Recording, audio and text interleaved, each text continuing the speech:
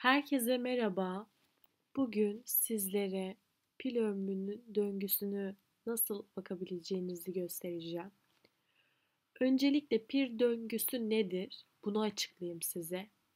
Pil döngüsü bir şarjı tamamen doldurup ve tamamen boşalttığınızda bir döngü yapıyor ve bu şekilde devrinize bir olarak işaretleniyor. Bu sayı zamanla artıp ve pil devrinizin maalesef ömrünün kısalmasına, değişmesine yol açılıyor. O yüzden pilimizi nasıl kullanmalıyız?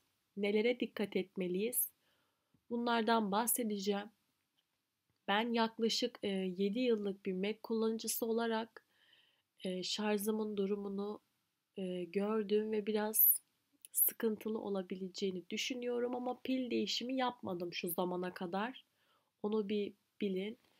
Kesinlikle pil değişimi olmadı. Pilimi nasıl kullandım, nelere dikkat ettim, nelere dikkat etmedim bunlardan bahsedeceğim. Ama öncelikle nereden bakabileceğinizi size göstermek istiyorum pil döngüsüne. Elma işaretini görüyorsunuz. Bu Mac hakkında diyor. Bu Mac hakkında tıklayıp sistem raporunu giriyorsunuz. Ve şöyle göstereceğim size. Hemen güç işaretini buluyoruz. Evet. Güç işaretini bulduk şu anda.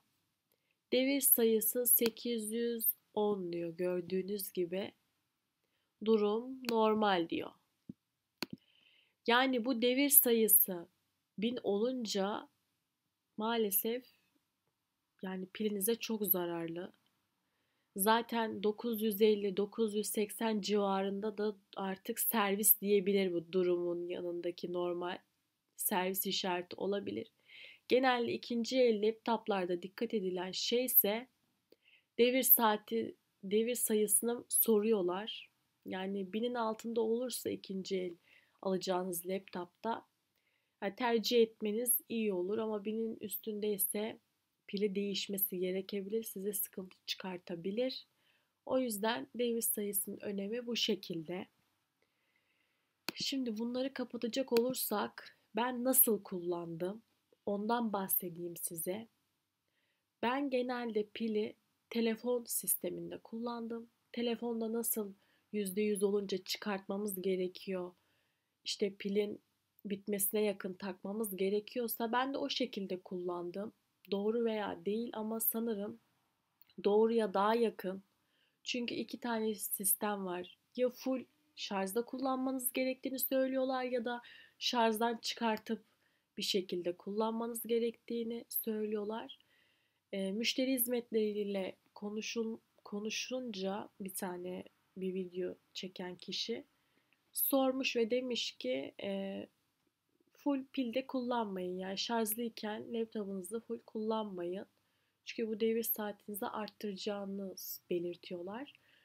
Yani genelde çıkartıp kullanın ama mesela %5'i %10'a kadar beklemeyin şarjı genelde 20 olunca şarj edin veya 15 olunca.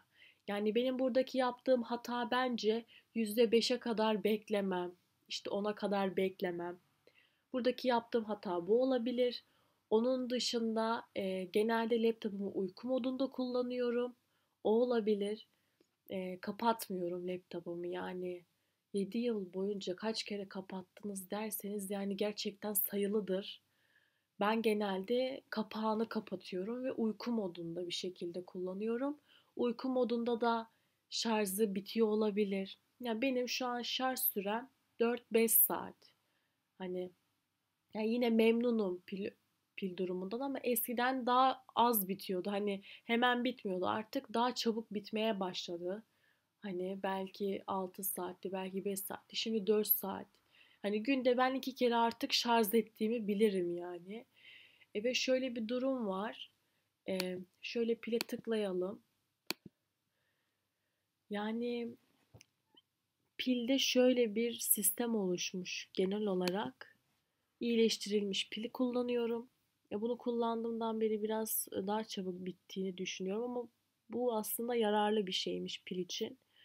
O yüzden bunu tercih ediyorum. Onun dışında ekleyebileceğim bir şey yok. Ee, sizin bilginiz varsa pil hakkında nasıl kullanabilirim, o bine nasıl yaklaşmam, e, nasıl kullanırsam yararlı olur yorumlarınızı da bekliyorum. Çünkü pil hakkında aşırı bir bilgim yok. Araştırmalarım kadarıyla sizlere anlattım.